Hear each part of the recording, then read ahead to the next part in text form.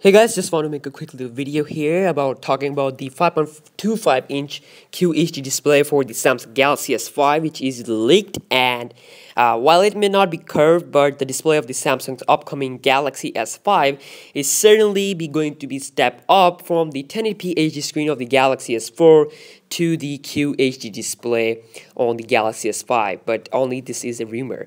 So, Korean website D Daily is reporting that the Samsung's display starting mass producing a 5.25 inch QHD uh, Quad HD AMOLED panels for the new Galaxy S5. If that's true, the next Galaxy flagship screen will have an insane pixel density of 559 uh, ppi, resulting from the 1440 by 2560 resolution.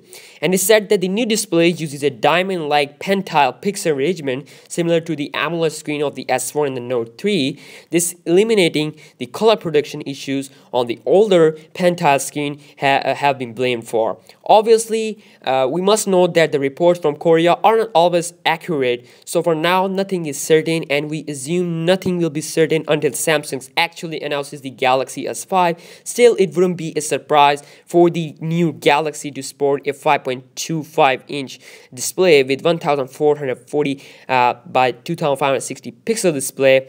China's Vivo X Play 3S is, has also uh, released uh, China's Vivo company has also released its phone called the Vivo X Play 3S, which also has a quad HD display, 1440 by 2560 pixel display. With the uh, this is actually a 6-inch display with the 490 ppi and also there's another phone which is the Oppo's uh, Find 7 which uh, which will also have 1440 by 2560 pixel uh, display. And so for sure some will argue that 5.25 inch display for is too big for the smartphone for a smartphone.